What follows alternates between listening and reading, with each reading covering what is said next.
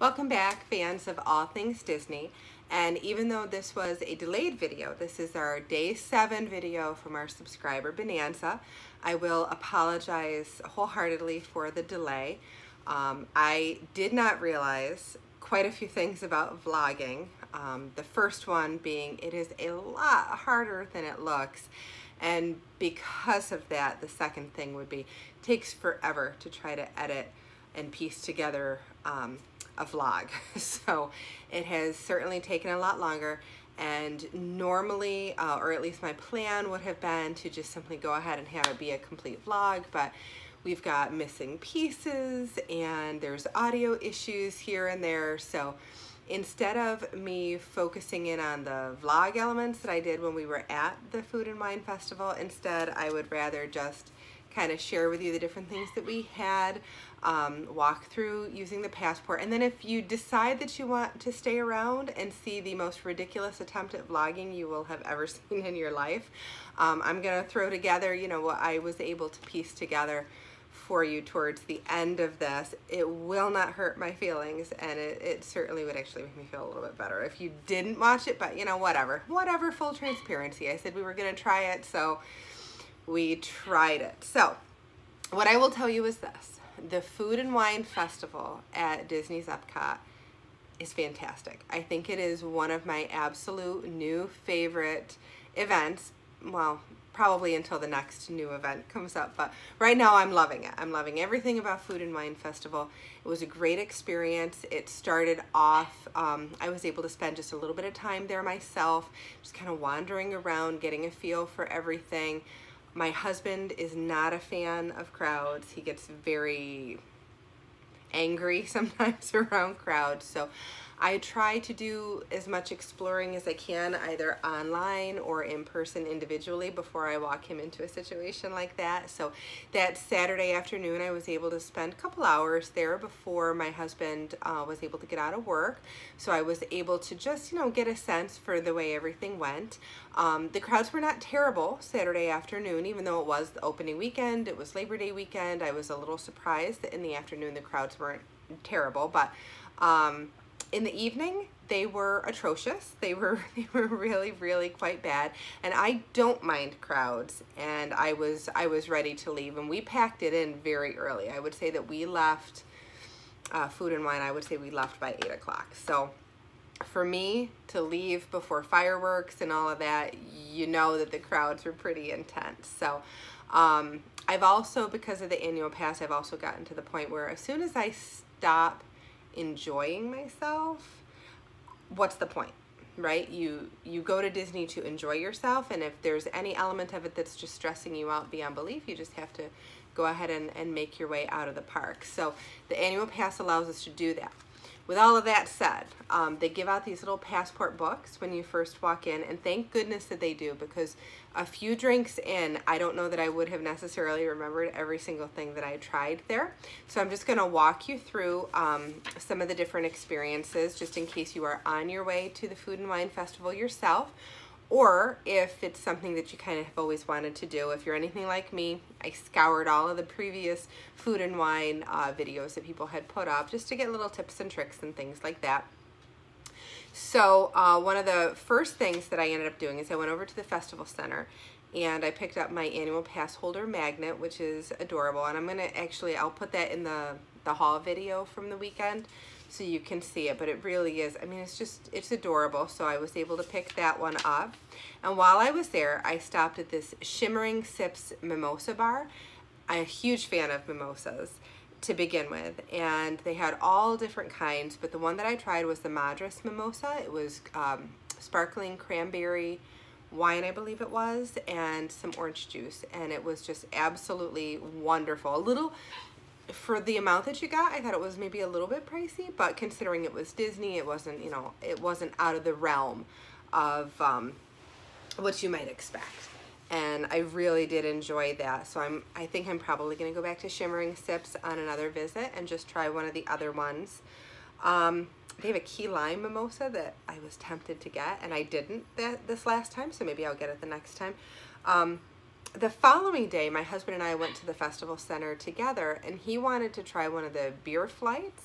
So we got um, the first beer flight, and it had, let's see here, it was a Central 28 Waffle, um, a Bold City Brewing, Brewing 1901 Roasted Red Ale, and then the Florida Beer Company Passport Triple Chocolate Milk Stout. I don't like beer at all to begin with. My husband likes light beers, and truthfully, none of those would qualify as a light beer. So he didn't mind the first two, but the chocolate milk stout was not good. I'm sure it would be wonderful if you liked chocolate beer, chocolate flavored beer. But since I don't like beer at all, I love chocolate, but I don't like beer at all. There was no way I was to drink that and my husband's not a fan of chocolate in any way, shape, or form. So I still don't understand why he picked that particular beer flight. I think he just went because it was probably the easiest to pick, but um, we tried it and we marked it down, and I'm sure that they are all lovely beers if you happen to like those flavors, but that one chocolate one, he was not a fan of. The first day, I went to uh, one of the Next Eats kiosks that they had their little um, pavilion, Coastal Eats. And I have to tell you, what did I get? I got the lump, nope, not the lump crab cake. I got the seared scallops with roasted corn and butter bean succotash and chili chipotle butter sauce. And it, it was really phenomenal. In fact, I'm thinking towards the end of the Food and Wine Festival when I go back for the run, I think I will probably treat myself to that one again because it was absolutely delicious. I thought I thought that the scallops were cooked perfectly. They were nice and tender. They weren't chewy, um, but they were very tender. And that, that butter sauce that they had on there was just absolutely wonderful. I loved it. Not a huge fan of succotash either, and I really did enjoy that. Then later that same day, I treated myself to, let's see here, the Twinings Pumpkin Spice Chai Tea Frozen Cocktail with caramel vodka. And it, it, it looked like they put quite a bit of vodka in that, which is lovely, but um, it was really good. It was really, really tasty, I have to say. Um, I don't think I'll get it again, but it was it was really good. I'm glad I got it the first time. Um, so it, it's definitely something if you like chocolate tasting uh, shakes and um, if you don't mind a little bit of vodka with your shake, it, it was definitely amazing. Um, the next day, this is something that I will absolutely get, and I got this Saturday just right around noon, so it was really hot, and I was just I really wanted something just very, very smooth and um, kind of cool the temperature down a little bit. So we stopped at the Almond Orchard and I got the banana almond soft serve sundae with fresh berries and chocolate almond streusel. Outstanding. It was outstanding. The portion size for what you paid, and I think it was like $4.50 or $5, but it was a really nice size sundae the um, banana soft serve was amazing. I will absolutely get that one again. Um, and the toppings just fit beautifully with it. So that I would highly recommend and I will absolutely get that one for myself. The first night that we were there, that Saturday night, my husband and I stopped in Thailand. And let's see here, we got a, a few different things. Um, we got the marinated chicken with peanut sauce and stir-fried vegetables. And we also got the seared shrimp and scallop cake with cold noodle salad. I thought that the marinated chicken with the peanut sauce was good. I thought it was very tasty for what it was.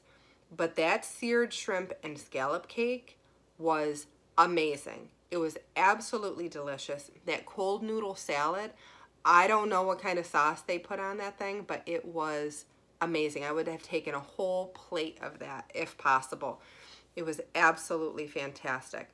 And then my husband did get one of the, I'm going to mispronounce it, but it was the lager that they had there, a Sing, Singha lager. I'm, I'm so sorry if I completely butchered that, but he liked it. But um, again, he's, you know, give him a, a Busch Light or a Coors Light or something like that, and he's a happy man. So anything that's a, a little bit uh, fancier, he's he's not as down for it. Then, let's see here. Let's see, see, see. Um, the first night, we also stopped at Spain, at the Spain Pavilion. And I tried the charcuterie in a cone because it just looked really interesting. I'd seen other people get it. And to be quite honest, I thought my husband would want more of it than he took. And I knew that he wasn't getting enough food with the, the portions are so so tiny. So um, I figured that he would enjoy that. But he actually he got the seafood salad with the shrimp bay scallops and mussels. Um, and he he thought that that was very very bland. I tried it myself. I think I agree that it was quite bland. Um, but I'm not a huge seafood salad person so I don't know that I would be the right person to ask. Um, but he is and he he was not a fan. He didn't dislike it but he didn't like it. Um, the charcuterie in a cone I thought was great actually. I will get that one again if I you know I'm walking by there and I just I want a little bit of cheese a little bit of the meat. I want you know some of the olives in there for the price that you pay. I thought that it was really really good.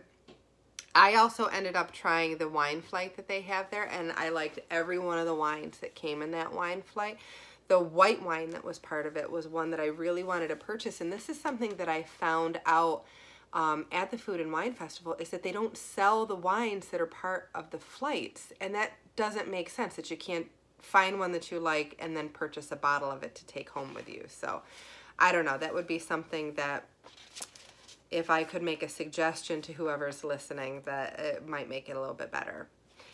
Then let's see, we also ate in Japan that first night. I had the teriyaki chicken bun and my husband had the beef nigiri. The teriyaki chicken bun, amazing. I want to get that again at least one more time when we are there. And then uh, the beef nigiri, he was not a fan of, didn't dislike it, but he didn't really like the spice that was, um, uh, the spicy rice that came with it, which is strange because he loves spice and I didn't care for it either. But I'm, I'm very proud of myself for trying a couple of things in the France Pavilion. My husband got the carbon, I'm gonna mix it up, I'm the Carbonade de Boeuf. Sorry for the pronunciation. That was good. Um, I got the croissant au escargot and I took one bite of it and I couldn't finish it, so we traded. My husband loved the croissant. He thought it was great. He likes snails. That kind of stuff doesn't bother him.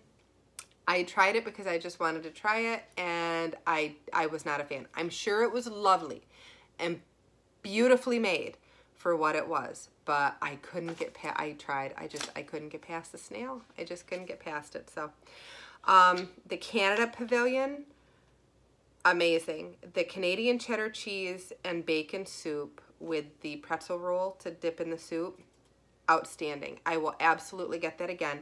And I also found a beer that I do like. I am not a fan of beer, like I said, but I tried this um, Moosehead Radler that they had there. And if I could have bought a case of that stuff, I would have bought it because it was fantastic. It was a very fruity beer with grapefruit and grapes and all this kind of stuff in it. And I really, really loved that. So two thumbs up, way, way up for the Food and Wine Festival. It was a great experience. I will absolutely do it again.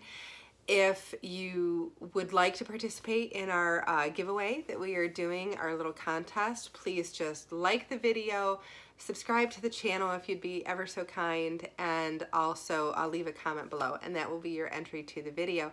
So until our next video, be blessed and bye-bye.